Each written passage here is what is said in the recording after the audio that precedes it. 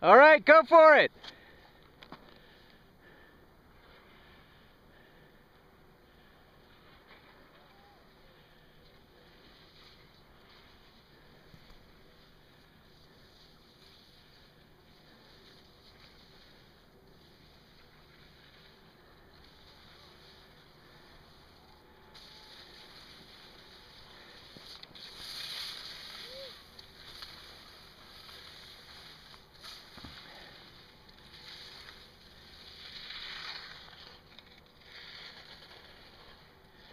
Nicely done, Lou.